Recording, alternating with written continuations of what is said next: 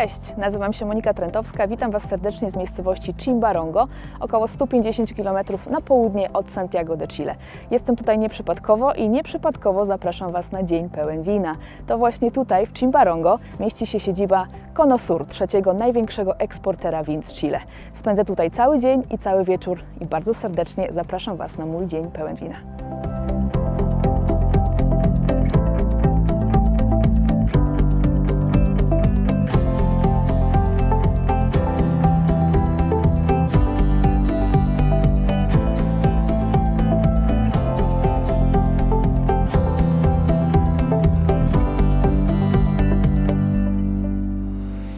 Chimbarongo w wolnym tłumaczeniu to miasto mgieł i rzeczywiście w tej dolinie panuje dosyć tajemnicza, mglista atmosfera, ale tajemnice świata win będę dla Was dzisiaj tylko odkrywać.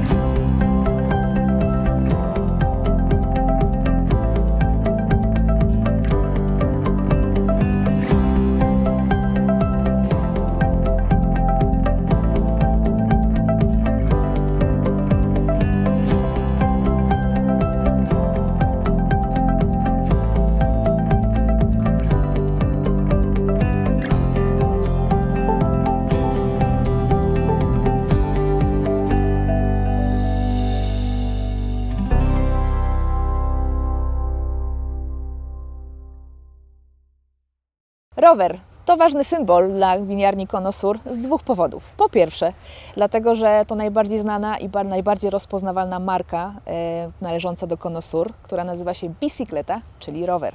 E, znacie ją zapewne i w Polsce, dlatego że Konosur przez kilka lat miało patronat nad Tour de France. I drugi powód, najważniejszy, bo od tego wszystko się zaczęło, rower to również typowy środek transportu dla tutejszych pracowników winiarni, którzy mają do przemierzenia ponad 300 hektarów upraw, e, więc całkiem sporo. I to właśnie rower jest dla nich najwygodniejszym, najbardziej ekonomicznym i ekologicznym środkiem transportu. Mam przyjemność spotkać się dzisiaj z Guillermo Sanchez, e, tutejszym enologiem z winiarni Conosur, który pracuje z nim już 12 lat i wypytam go o to i owo. Hola Guillermo, ¿cómo estás? Bien, Mónica. Gracias por tenerme acá, es muy lindo lugar. Bienvenida, bienvenida. Quiero preguntar para empezar eh, una cosa quizás difícil. Uh -huh. Entre 300 exportadores de vino chileno, ¿qué es uh -huh. lo que distingue Conosur precisamente? Conosur es una viña atípica en Chile porque desarrollamos las cepas no tradicionales, Pinot Noir, Riesling y Busstraminer. Eso mayoritariamente la hace diferente y nuestros conceptos desde el inicio, cuidar el medio ambiente, la calidad, la innovación. Uh -huh. Dentro de lo de cuidar medio ambiente, ustedes son famosos por ser viña eco. ¿Qué significa en industria de vinos ser viña eco? Tiene, puede ser 100% enfocado en un, en un, proyecto orgánico uh -huh. o si no es así, si no es orgánico, los, los, manejos sustentables o amigables con el medio ambiente que tienen que ver con la selección de razones técnicas amigables eh, es importante. Y por otro lado, en, las, en la bodega de vinos, la eficiencia energética, el cuidado con el uso de los recursos es importante para nosotros y regulado. Y ser eco significa quizás también, porque así lo pensamos nosotros consum consumidores, uh -huh. que ustedes no usan ninguna sustancia artificial, no hayan algo químico. Claro, ¿también? claro. En la vinificación, por ejemplo, en los viñedos, eh, la base es un programa sustentable que son productos que necesitas aplicar para combatir plagas o enfermedades lo más amigables posibles con el medio ambiente. Etiquetas verdes se llaman. Uh -huh. y, en la, y en la bodega de vinos todos los ingredientes son no genéticamente modificados hoy día para la elaboración de vino, uh -huh. pero la gran, la gran lo más importante es la materia prima, lo más importante está en los viñedos. Perfecto, muy bien. ¿Me muestras tu viñedo? Claro. 300 vamos. hectáreas. Muy bien, vamos.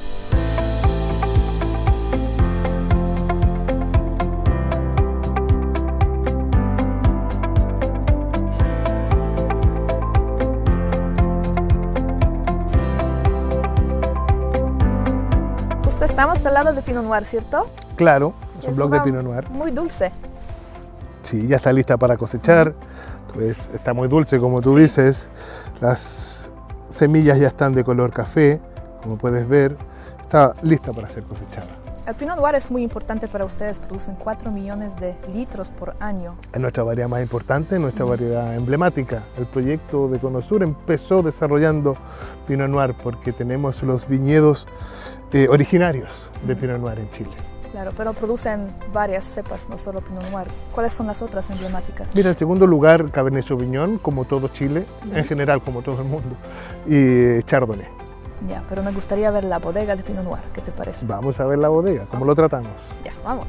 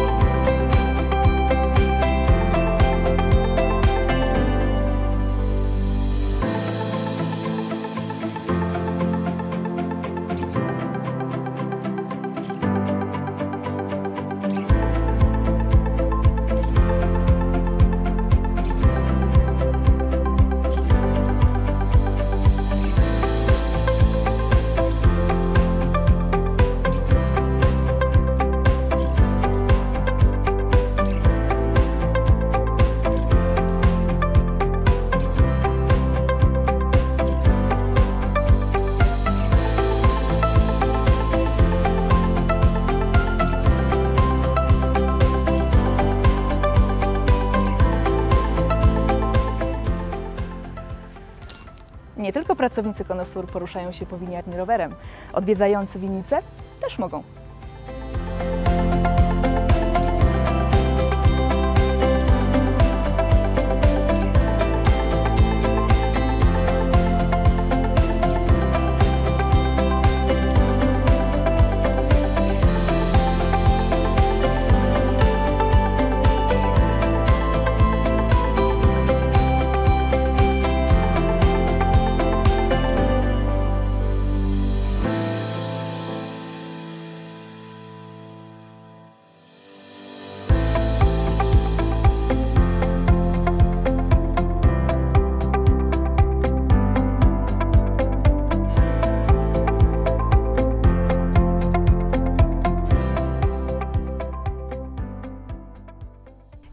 Aprovechando que estamos acá en ambiente de comida, comemos un salmón rico con un Riesling aún más rico.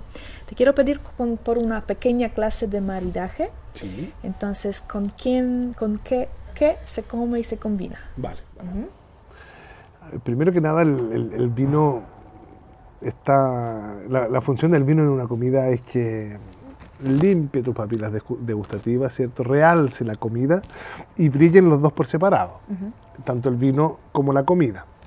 Entonces, cualquier vino eh, que no logra limpiar tu paladar en cada boca- en- entre cada bocado y cada sorbo de vino, mm, no debería. Por ejemplo, un vino blanco, un Sauvignon Blanc, si lo comes con un costillar de cerdo, no va a hacer su trabajo, por mucho que sea muy ácido el Sauvignon y muy fresco, no va a hacer su trabajo de eh, limpiar tus papilas. Para eso sería mejor algún tinto de un grado de alcohol un poco mayor. Yo creo que el alcohol juega, juega un, un papel fundamental a la hora de, de- de disolver grasas. Entonces, em, eso es en general. Por eso es que normalmente se habla los blancos con los productos del mar. Pero, por ejemplo, un salmón. Un salmón tiene, un tiene mucho contenido graso. Entonces, el Sauvignon Blanc quizás le va a quedar corto. Entonces, quizás en un salmón te aventuras con un Pinot Noir, te aventuras con un Merlot, un poco con un Merlot liviano, por ejemplo. Eh, y siempre tiene que no, no, no, no tapar, que, el- que, que no haya, que sean, eh, por eso se llama maridaje, entre los dos tiene que, tiene que haber una complementación, tiene que haber una, se tienen que potenciar ambos. Con las comidas eh, muy especiadas o un poco picantes, generalmente como son comidas potentes, necesitas algo potente también. Un Gewürztraminer o un Carmener puede ser, que tiene aromas bastante, bastante marcados y, y- y- y típicos. Para los postres, ahí hay diferente, ahí hay el maridaje, puede ser, tú puedes maridar cosas que se parecen o cosas que son completamente antagonistas. Por ejemplo, por un vino dulce, como un late harvest, eh, tendemos a pensar de que siempre va con los postres. Pero en Francia, todos sus sauternes, sus vinos dulces se toman antes de la comida, con un foie gras, con una comida que, lleva, que tiene bastante grasa. Eh, yo prefiero en general los maridajes de los opuestos. Porque dulce con dulce, a mí personalmente me parece finalmente muy dulce, claro, una sumatoria de dulces.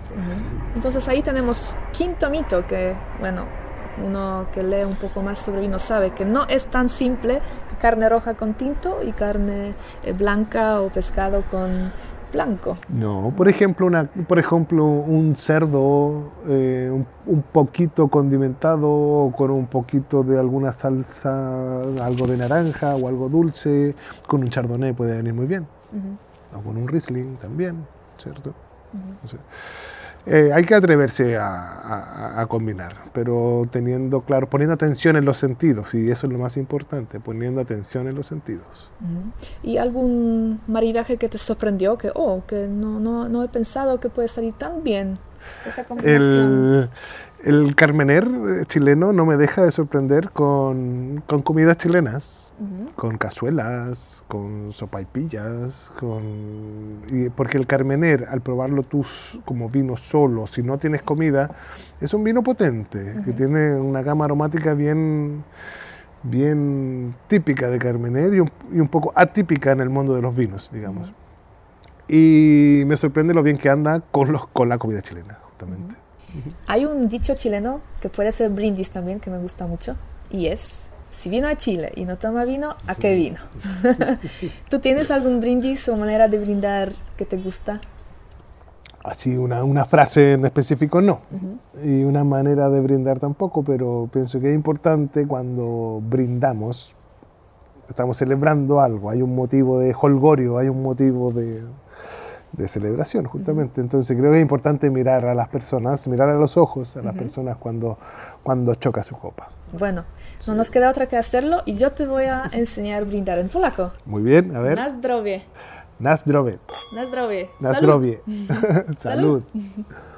Mój dzień pełen wrażeń w winiarni Konosur dobiega końca, ale zanim się z Wami pożegnam, chciałam pokazać Wam e, wina z szyldu Konosur, które docierają na rynek w Polsce. Między innymi bicykleta, o której Wam dzisiaj opowiadałam, wina organiczne, i sztandarowy produkt Konosur 20 Barrels Pinot Noir. Zdradzę Wam, że jest moim ulubieńcem, ale Was bardzo gorąco zachęcam do znalezienia własnych.